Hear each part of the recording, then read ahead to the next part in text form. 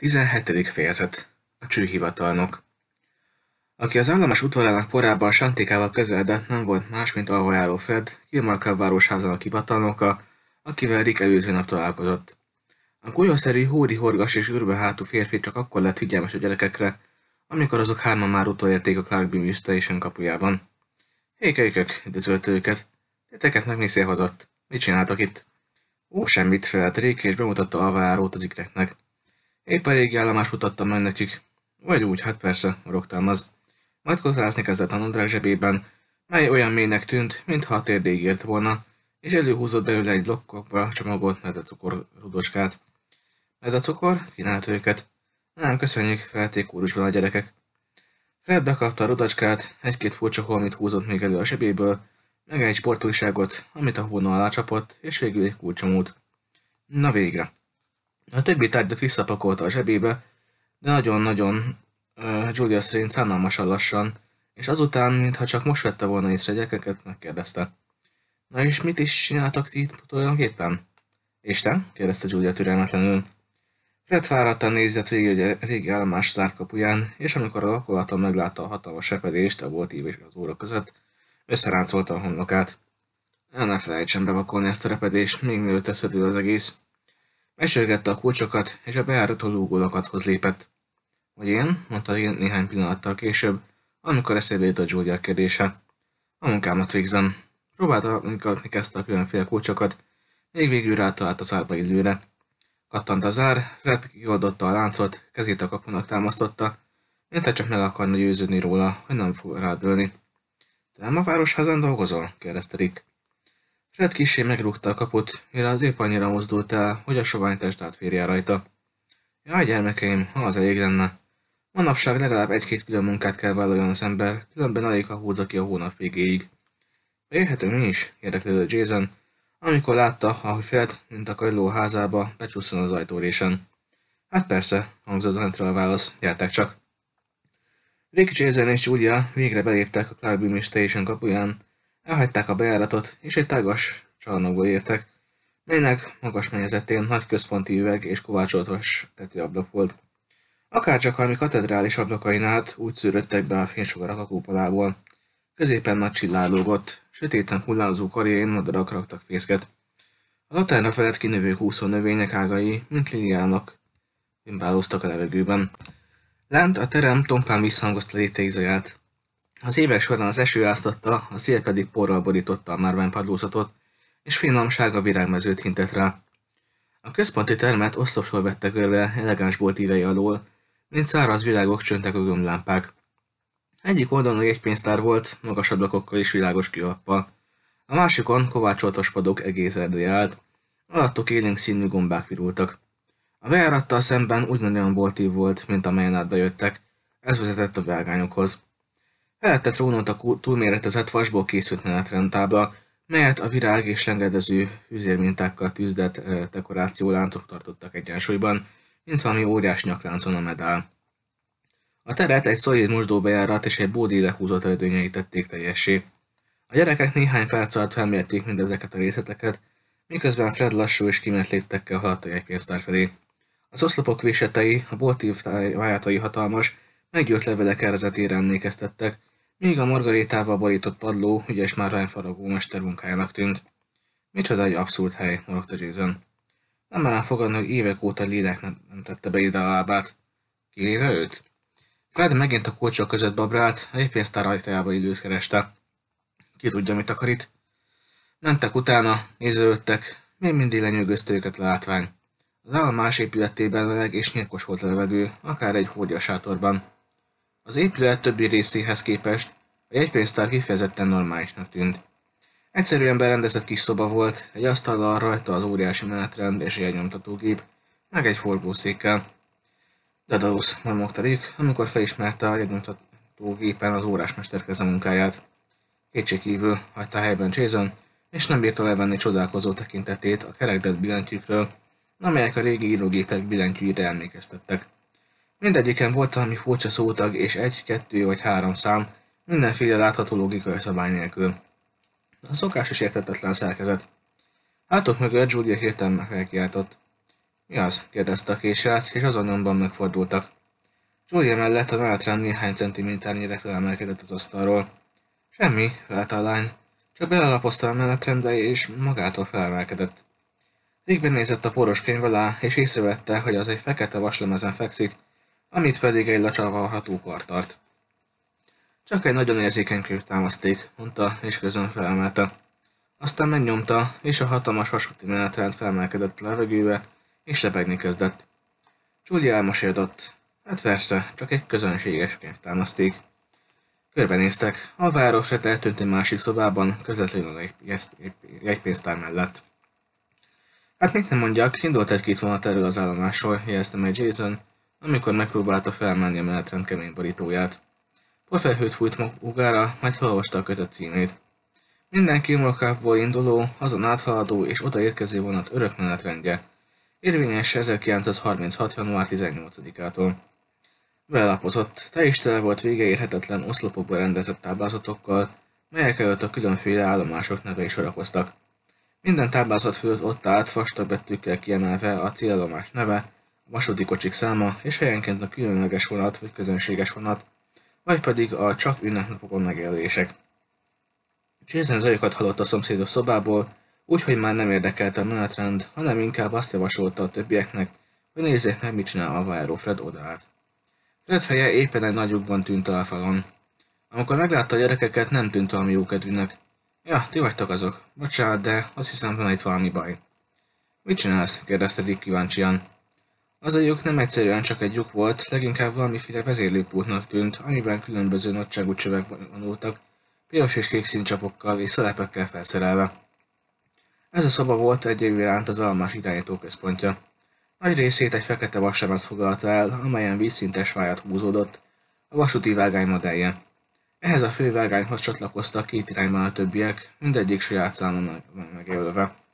A vágányok közötti meccéspontoknál a vasúti hátó makettja volt, amelyet egy kis piros kallantyúval lehetett működésbe hozni. Nyilvánvalóan ebből a központból irányították a falu összes vasúti váltóját.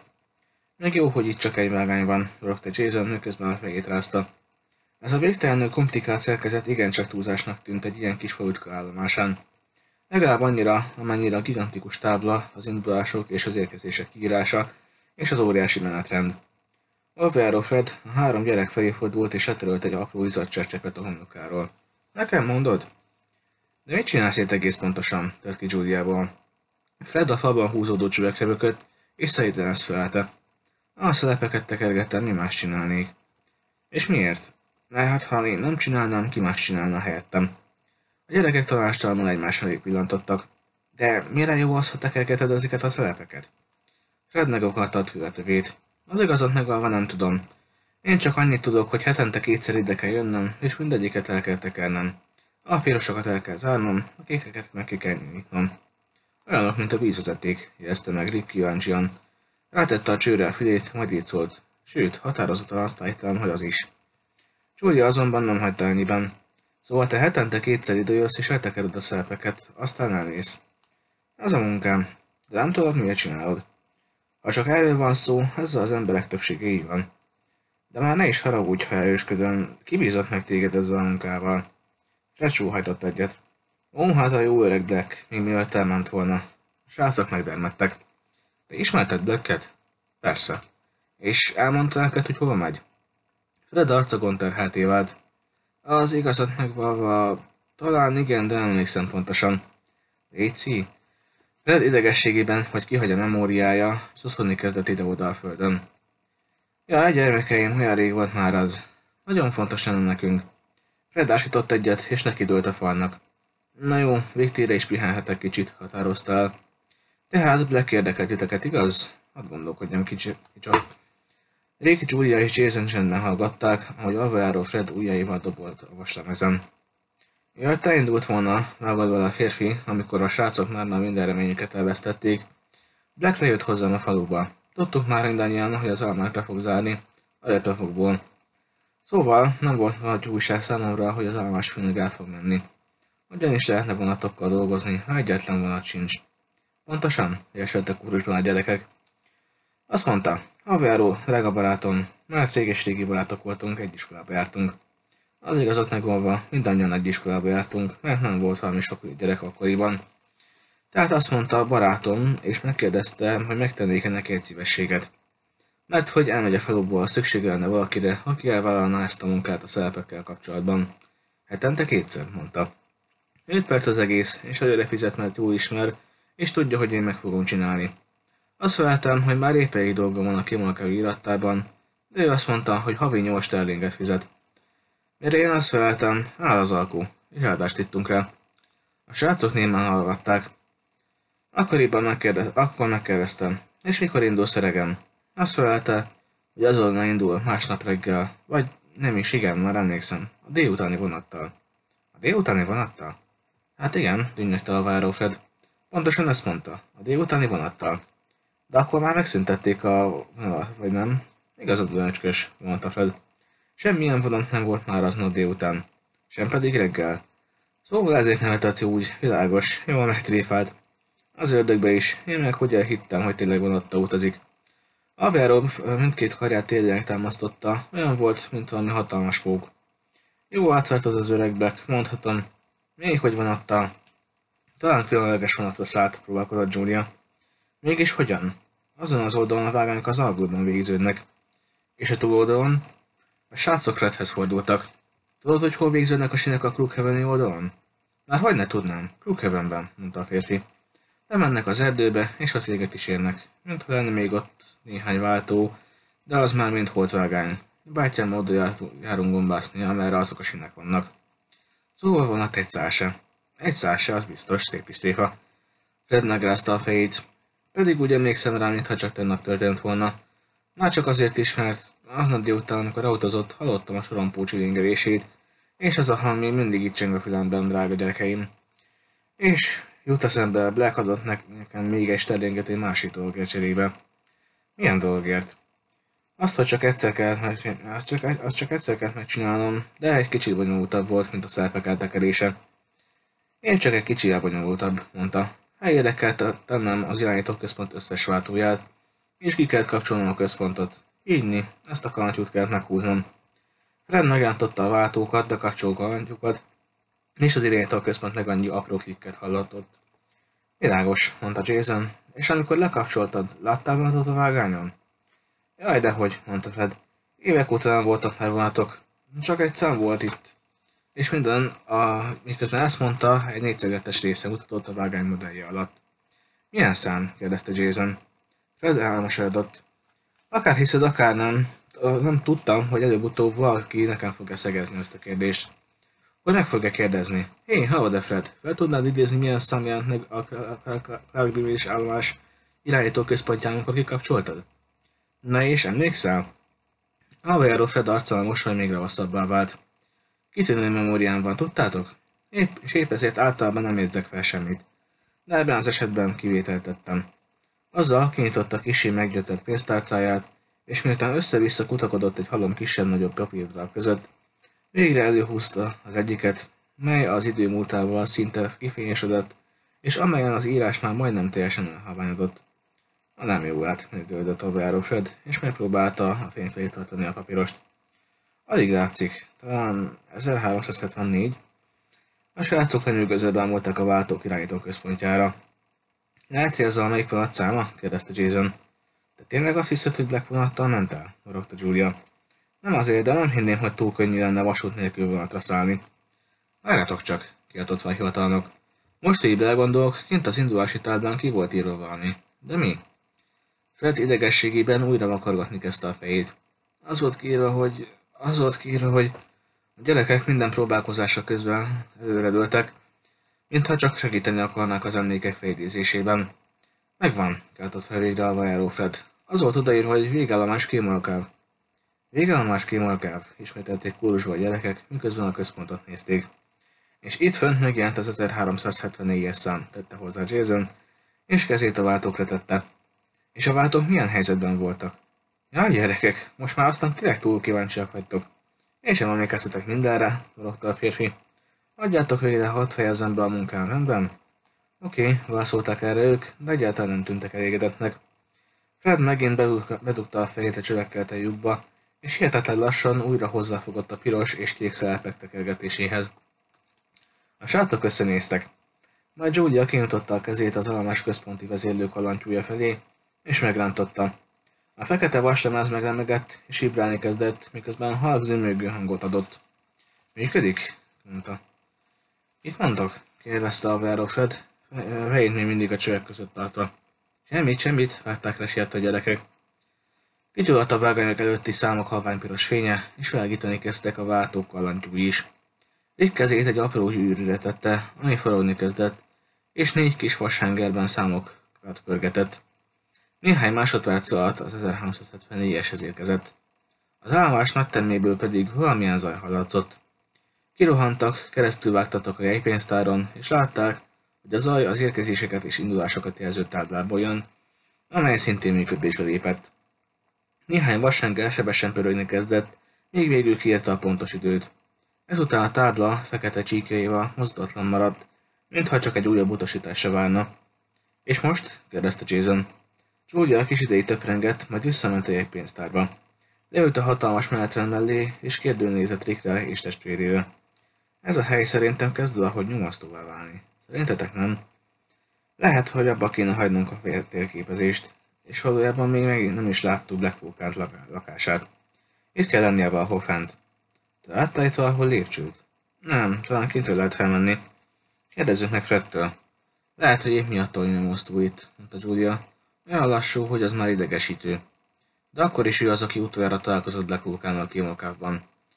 És akit az alomásfőnök megbízott egy feladattal, ami teljesen értelmetlennek tűnik. Mintha csak valami vízvezetékrendszer tájégatna be, hajtott Rick. Lehet, hogy a vágányoknál lévő ciszternával van összekötve.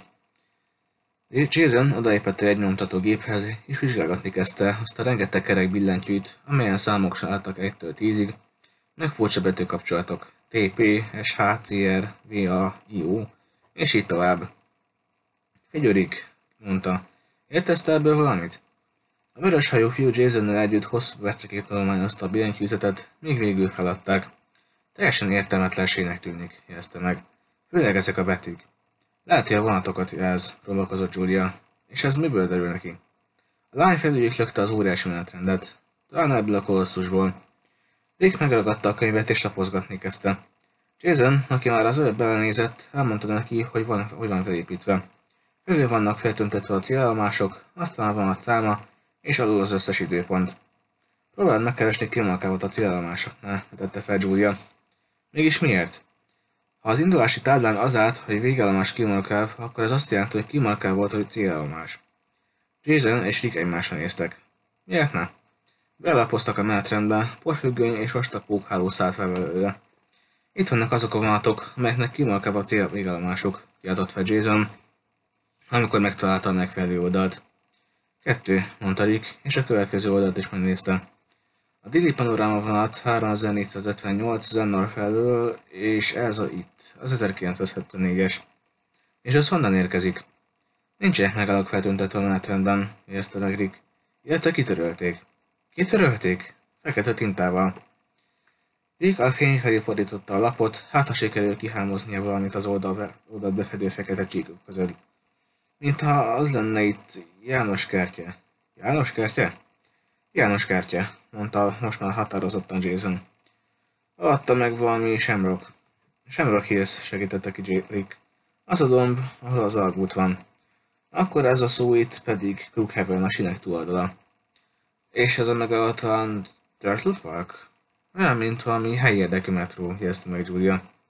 Főleg, hogy a Turtle Parkban nincs is vasút, mondta Rick. Az emelkedőn van ott fenn. Julia leszállt a székről, és ő is átsatírozott, kezdte oldalt, kezdte elböngészni. Ez az, bökte ki néhány másodperccel később. Micsoda? A vonat, amiről a barátod beszélt. A barátom, tiltakozott Rick. Azt mondta, hogy 1374, de alig volt olvasható a papír. Simán lehetett 1974, nem gondoljátok? De lehet, mondta az öccse. És akkor, nem tudom, de megpróbálhatnánk beírni a számot az irányító központra. Majd én megyek, ajánlkozott Rick, és már fordult is vissza. Megvan, de jó a sietni. Alváró azonnal kész lesz a csövekkel. És akkor, és ahogy kidugja a fejét a lyukból, észre fogja venni, hogy mindent bekapcsoltunk. Akkor nem ártom, ha kitalálnál valamit. Megint csak Julia volt a legfőgébb. Szerintem próbáljunk meg mutatni. De hogyan? Nincs valamilyen furaszám vagy jel a menetrendben? Itt az, az van, hogy 1974, aztán meg talán valami, igen, de ki van törölve. Lehet, hogy hát talán egy C, C-vel kezdődik. Julia elhelyezkedett a billentyűzet fölött, és a fe felsóhajtott. Próbáljuk meg. A vonat számával kezdte, hogyan a menetrendben volt. Ujját az egyes billentyű fölé tette, és lenyomta. A billentyű fémesen megcsikordult, és besüllyedt, majd úgy maradt.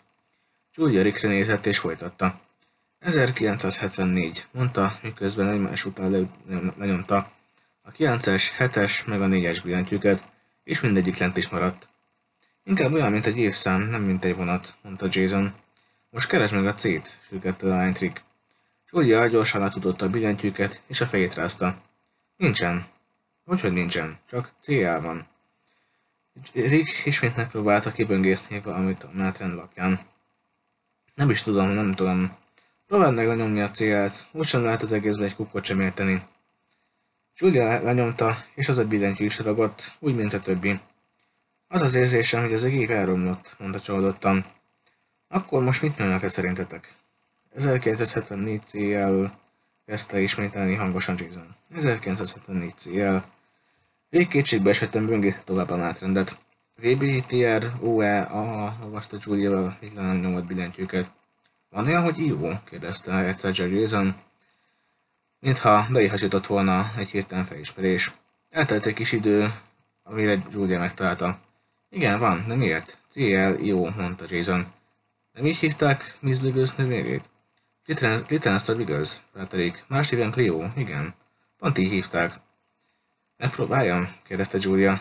Próbáld. Julia lenyomta az jó betűket. Az gép még egyet csikordult, és ez egy időben az összes többi billentyű, amely eddig le volt ragadva, felkattant. Aztán szörcsögő hang hallatszott, és a készülék hátából felszippantódott egy papír, nyomtatása várva. Nem megy, mondta Julia néhány perces izgatott várakozás után. Mi hiányozhat még mindig? Megvan a vonat száma, a kód, mit tudom én. Három, mondta Rick. Három micsoda? Jön meg a hármat, talán az utasok számára kíváncsi, próbálkozott. Julia lenyomta a hármat, a billentyű pár másodpercig lenyomva maradt, majd hirtelen felpattant, és az egész gépezet kattogni kezdett. Ez épp annyi ideig tartott, míg a masina kiköpött magából egy négyszögetes papírt, elegáns szecessziós kerettel, amin a következők álltak. Kivolkább város, Clarkville Station. Mellett egy a különleges vonatra. Fió 1974, az ő kifjúság vonata. Érvényes csak ma, utasok száma 3. A beszállás feltételeinek tisztázása érdekében kérdők fáradjanak az információhoz, vagy tekintsék meg a kifüggesztett hirdetőtáblát. Csodálatos, suttatta Julia, aki teljesen lenyűgözött a friss nyomtatvány látványa. És most? A másik szobában Alvaro Fred nagyot ordított. Most aztán futás, nézzük meg mi történik oda át.